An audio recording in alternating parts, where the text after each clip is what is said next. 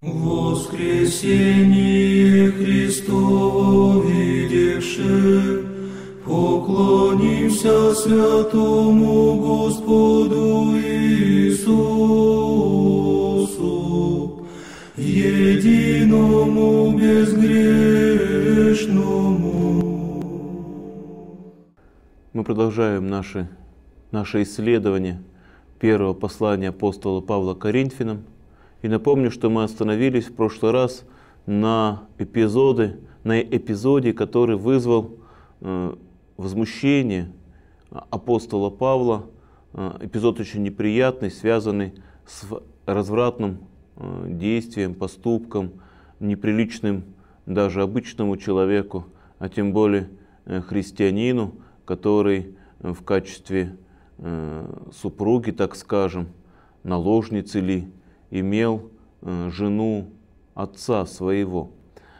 И вот по этому поводу он выразил возмущение равнодушием членов общины и призвал предать этого человека сатане для того, чтобы он, изможденный э, вот бесом в плоти, в жизни сей мирской, он бы обрел спасение, дух бы его, очистившись в этих очень тяжелых и страшных страданиях, спасся бы. В этом, кстати, отрывке небольшом, буквально эпизодическом упоминании апостола Павла о э, таком варианте наказания, э, церковное предание усмотрело и норму отношения к страждущим э, людям, одержимым разными вот уровнями бесовских одержимостей. У них, конечно, много различные причины, но церковь всегда учит и свидетельствует, что терпеливое отношение к этим скорбям и к этим страданиям является путем, э, дорогой к обретению мира с Богом, в конце концов, э, милости Божьей.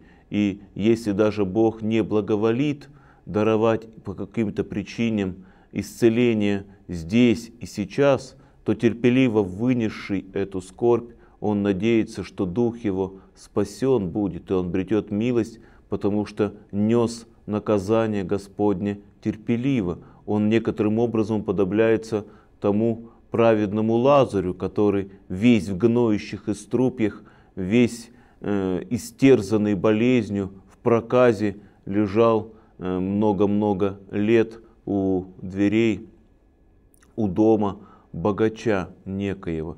Вот, в принципе, любой такой страждущий, если он терпеливо переносит свои страдания и скорбь, он надеется на милость Божью, и она, конечно, будет ему оказана. И далее а, апостол Павел упоминает, делает интересное заключение, о котором здесь, на, в контексте 5 главы 1 послания Коринфянам, он далее рассуждать не будет, но мы увидим, что далее эта тема снова явится в его посланиях, и он раскроет это гораздо а, более глубоко и сильно. Апостол Павел пишет, Нечем нам хвалиться. Разве не знаете, что малая закваска квасит все тесто? Итак, очистите старую закваску, чтобы быть вам новым тестом, так как вы бесквасны, ибо Пасха наша, Христос, заклан за нас. Поэтому станем праздновать не со старой закваскою, не с закваской порока и лукавства, но со пресноками чистоты и истины. Вот несколько раз в течение этого небольшого фрагмента, отрывка, апостол Павел повторяет слова «закваска».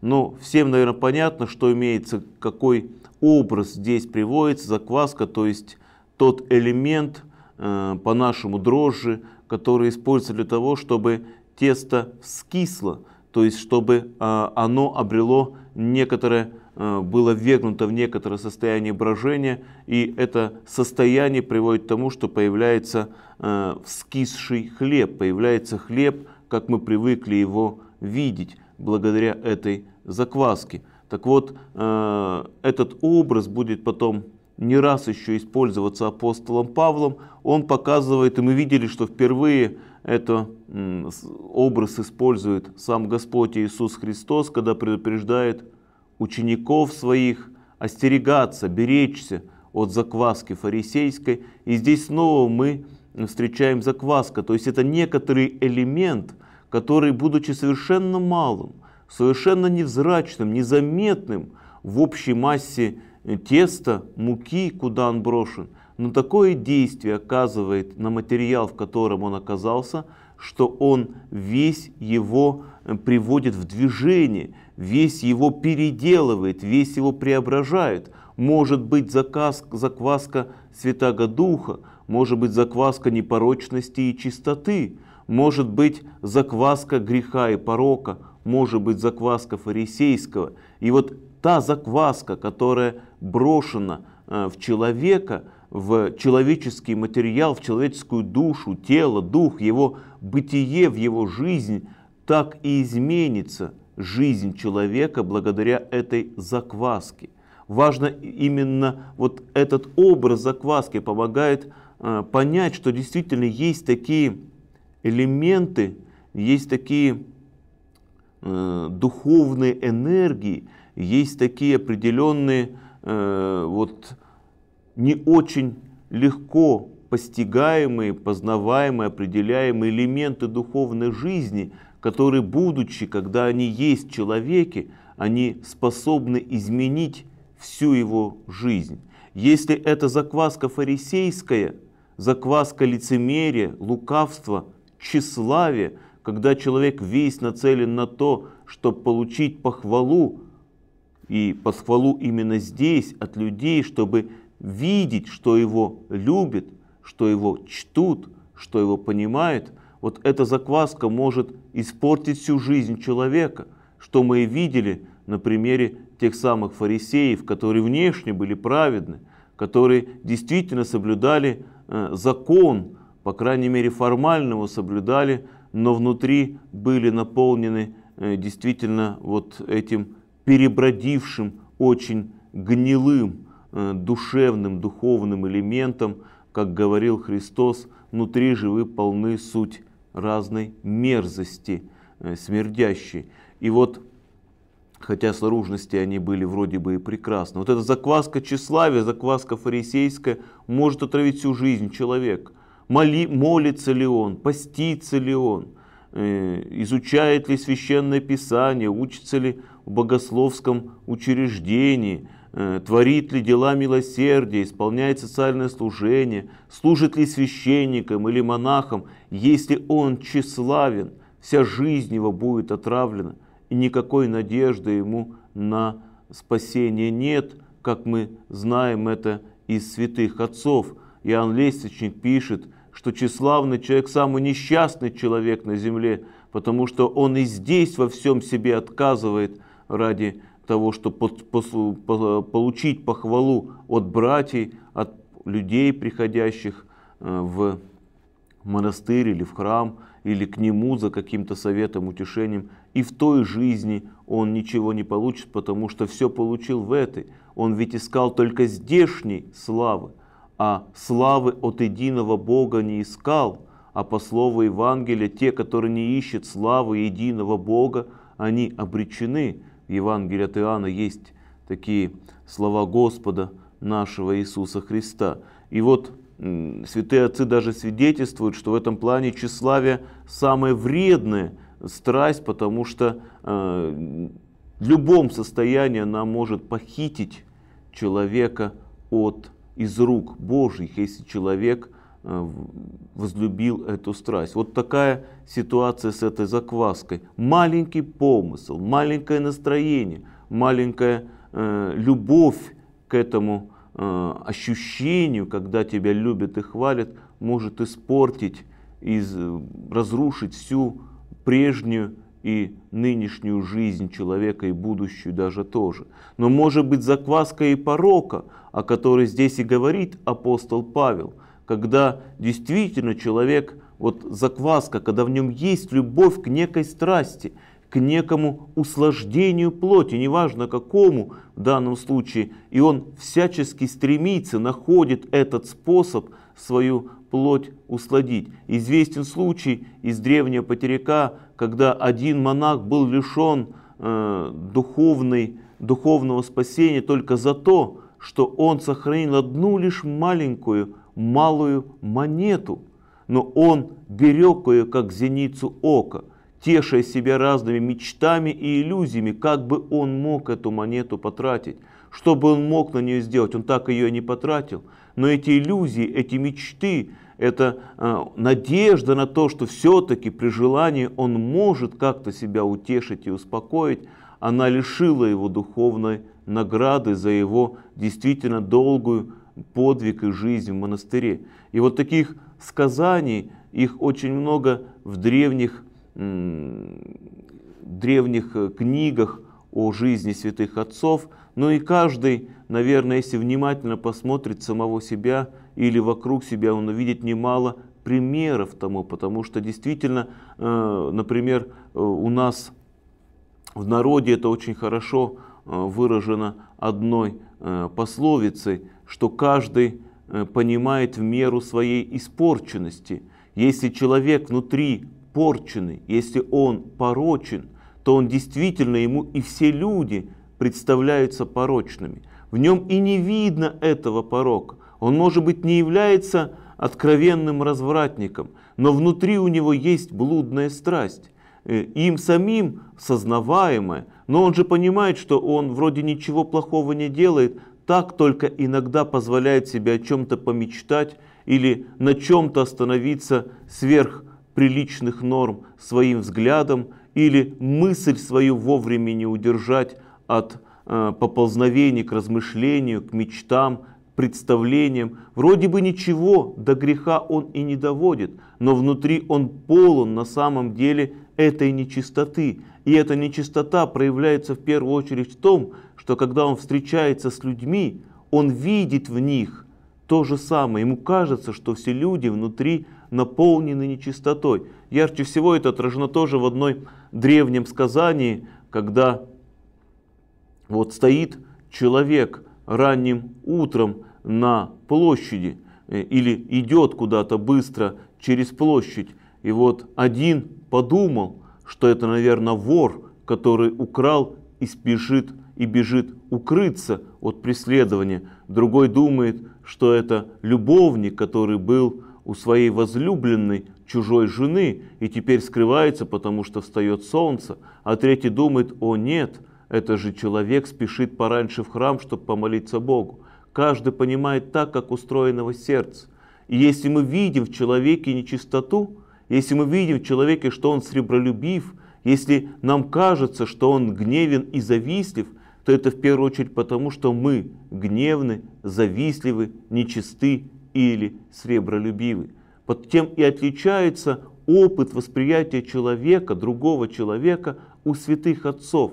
Они видят, на самом деле видят, что есть человеки, но видят это бесстрастно. Они сами чисты от этого. И поэтому не, не, видят, не, не видят человека сквозь призму осуждения, неудовольствия, возмущения его поступками и непоним, или непониманием его действий. Они видят человека, который болен некой болезнью, но они понимают это и видят это искренне и чисто, потому что сами чисты от этой болезни, потому и способны видеть, что они прежде всего способны любить этого человека. А если мы прежде любви как нам кажется, видим в человеке скрытые в нем страсти, то это всего лишь обличение нас самих. В нас самих эти страсти, безусловно, есть. Это и есть закваска порока, которая, даже если не приводит к каким-то сейчас, каким-то ужасным делам, поступкам, на самом деле лишает нас надежды на спасение. Поклонимся святому Господу Иисусу. Вот на эту тему очень хорошо сказано у пророка Иезекииля. Он приводит э, свидетельство, что однажды к нему, Иезекиилю, пришли некоторые старцы э, иудейские, и спросили его, сели и спросили его, чтобы он открыл им волю Божью. И пророк Иезекииль говорит э, устами своими, произнося слова Божьи, он говорит, так говорит Господь, что всякий, кто поставил идол в сердце своем и соблазн нечестия перед лицом своим, никогда не услышит слов моих, и никогда я не откроюсь ему, и никогда не отвечу на его вопрошание, пока идол свой из сердца он не уберет. Вот это вроде Ветхий Завет, времена очень древние и далекие от христианской аскетической традиции, но смысл свидетельства тот же самый. С идол в сердце человека – это страсть, которую он возлюбил. Внешне вроде он сохраняет благоприличный, благопристойный вид. Он чтит Бога, по крайней мере, по-видимому. То есть мы так видим, что он входит в храм, что он молится Богу, что он произ...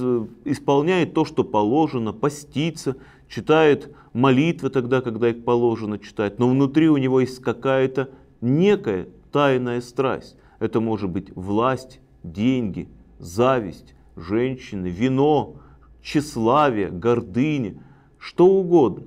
И вот пока есть в человеке эта страсть, он не может расслышать голос Божий. Он не способен стать исполнителем воли Божьей. Он не может исполнить волю Божью. А если он не может исполнить волю Божью, он неверный раб. Он не может быть верным Богу. И на самом деле формально, чтя Бога, в сердце своем он чтит самого себя. Потому что любая страсть в сердце человека – это любовь к самому себе. Если Бог заповедает нам любить Его больше всего, всеми силами своими, всей крепостью своей, всем помышлением своим, Он требует любви, то, разумеется, всякая страсть – это есть неотданная Богу любовь. Это значит, что мы не всей крепостью любим, и не всем помышлением, и не всей душой любим. Более того, если мы внимательно посмотрим, то страсть имеет такую природу, что она завлекает, привлекает все, все силы человека. Если действительно в сердце стоит, в человеческом сердце стоит страсть, стоит страсть, которой он лелеет, о которой он заботится, которую он тщательно скрывает от других, то на самом деле он давно уже не чтит Бога, он всеми силами своими возлюбил этот идол, возлюбил эту страсть. Он идолопоклонник, хотя на самом деле ходит в храм Божий. Он идолопоклонник, потому что он служит этой страсти. И вот то же самое на языке апостола Павла из первого послания Коринфянам, это и есть та закваска, страсть некая, оставленная в сердце человека, и есть закваска, которая способна э, пере, преобразить, изменить, испортить, отравить всю его жизнь. И поэтому так важно для христианина беречься от всякой страсти, как закваски, способной изменить, испортить совершенно не в, ну, не, не в нужном направлении, испортить, отравить его жизнь. И именно по этой причине сказано, что э, еще со времен Ветхого Завета, опять-таки, сказано, что человек должен э, беречься от соприкосновения с тем, что может заразить нас этой страстью, что может нечаянно э, привести к тому, что в нас попадет закваска. Ну как это бывает обычно, например, с продуктами. Это же каждый опытно переживал. Случайно попало некоторое вещество, и Э, суп чуть-чуть перестоял, муха села, и все, продукт испорчен. Он э, вскис, он отравлен, он и изменил свое естество и стал больше непригоден в пищу. Вот так очень удобно может заразиться человек любой страстью. От соприкосновения с миром, от соприкосновения с любым страстным человеком. Почему э, святые люди, мы знаем об этом Э, очень подробно, не только из древних потеряков, но из описаний подвижника 20 века, были очень осторожны в отношении того, э, от кого они брали приношения, с кем они общались, как они общались, что они делали. И в отношении тех соблазнов, которые вокруг них, конечно, э, было очень э, много. И вот апостол Павел говорит, что в принципе не столько опасен сам по себе мир, он не сколько человек, называющий себя братом, но внутри больной страстью. Почему так? Потому что мир, он сам по себе для всякого христианина, понятно, является источником соблазна, источником, могущим э, изменить мою жизнь, способным отравить мое сердце. И любой христианин, если он действительно христианин не по названию только, а в глубине сердца, как мы говорили, исследуя слова апостола Павла, бережет святыню своего сердца, то, конечно, выходя в мир и общаясь с миром, он осторожен, во-первых. А во-вторых, поскольку он вступил в завет с Богом, Бог его бережет, охраняет, как об этом молится Господь Иисус Христос в молитве, известной так называемой первосвященнической молитве, в 17 главе Евангелия от Иоанна, он, обращаясь к Отцу, говорит, «Молю Тебя, не сохрани их от мира, но сохрани их от зла в этом мире». И вот по молитве нашего подвигоположника, нашего э, архиерея грядущих благ, как назовет его апостол Павел в послании к евреям, по молитве ходатайству Господа нашего Иисуса Христа, силой благодати Святаго Духа, христиане сохраняются от искушений мира сего, если хоть сколько-нибудь ведут себя осторожно и сдержанно, зная, что ходят опасно, что ходят среди сетей вражьих, что ходят по территории князя мира сего, по миру, лежащему возле. Но совсем другое дело, когда э, страсть проникает в того человека, который называется нашим братом во Христе, когда мир как бы проникает в тело церковное. Он брат мне по телу Христову. Мы вместе с Ним причащаемся тела и крови Христовой. Мы вместе с Ним стоим в храме. Мы искренни друг перед другом, мы искренни перед Богом. И только в этой искренности, в этой открытости, в этом, причем это не так, как сейчас в древности, это буквально была искренность и открытость, потому что христиане в определенный момент – который сейчас отражен возгласом «возлюбим друг друга, да единомыслим исповем» и действительно раскрывали друг, друга, друг другу объятия, действительно обнимали и целовали очень, очень искренне друг другу, как будто братья и сестры, подлинные, настоящие, глубокие, они открывали друг другу сердце. И вот среди этого собрания единоверных, единомысленных, единодушных людей появлялся человек, который болен страстью. Но если он болен страстью, значит он на самом деле внутри служит не Богу, он служит некоему идолу. Он лукаво прокрался в это собрание. И в момент, когда все раскрывают свои объятия, он раскрывает их неискренне. Он болен страстью. Но вокруг ведь все ходят, не чувствуя осторожности, они ведь здесь в обители спасения. Они э, не проявляют должного э, опасения, они во всем раскрыты и доверяют. И когда им что-то предлагается, они верят, потому что предлагается братом. Когда он говорит, они верят, потому что он брат им. И они ему говорят, а получается, что проникло семя лукавое, как некогда сатана проник в рай, и потому они послушали его, что как может что-то чужое, что-то инородное быть в раю. Нас никто не предупреждал, что в раю может быть опасность. И они очень доверчиво слушают слова змеи. Вот так же подобная опасность представляет любой человек, называющий себя братом, а внутри на самом деле он не он лже брат. Он не только меня не любит, не только по отношению ко мне не искренен, он не искренен по отношению к Богу. А если он не искренен, не отдал всего себя Богу, кому тогда он служит? Кто завладел его сердцем, если он лжет и лицемерит?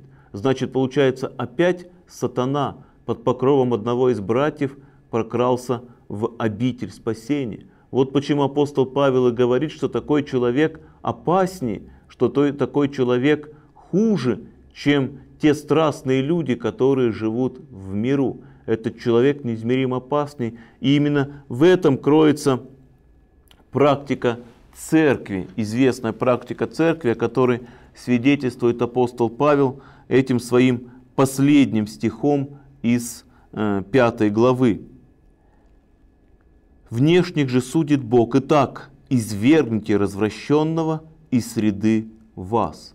То есть этим апостол э, Павел свидетельствует, э, буквально дает основание общей церковной практики которая с древнейших времен церкви известна. Практика отлучения, когда человек, который э, замечен в том, что он страстен, в том, что он нечист, отлучается от церковного собрания. Он не ступает в среду. Сейчас это невозможно. Раньше в древней практике отлучение от причастия означало именно отлучение церковного собрания. То есть, когда человек э, так грубо говоря, выставлялся за дверь, когда его изгоняли в тот момент, когда все верные должны были причащаться. Он должен был либо перестать именоваться христианином и вообще выйти из церкви, либо, если для него это невозможно, внутренне, слава Богу, что невозможно, он должен был некоторое время стоять с в особом месте, на особом положении, в особом статусе, и точно выходить из, из собрания в тот момент, когда верные причащались тела и крови Иисуса Христа. Потом это стало невозможно, практика изменилась, но по-прежнему до сего дня существует практика, когда основанная не на мыслях тех или иных священников, а именно на древнейшем свидетельстве, предании и каноническом праве, когда за определенные преступления, э, грехи за определенное отклонение от норм, в частности за прелюбодейный грех, за убийство, человек некоторое время э, отлучается от причастия. Он может ходить в храм, но он не может причащаться.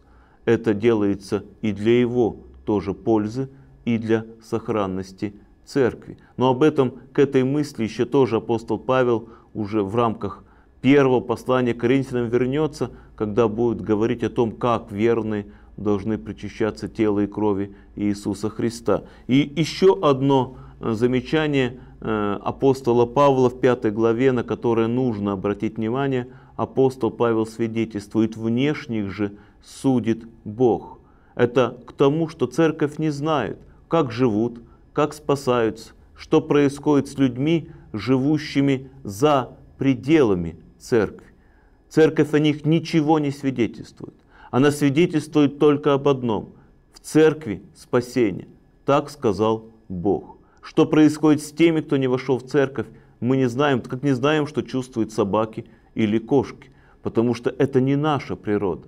Но зато это говорит и о том, что то, что происходит в церкви, церковь знает.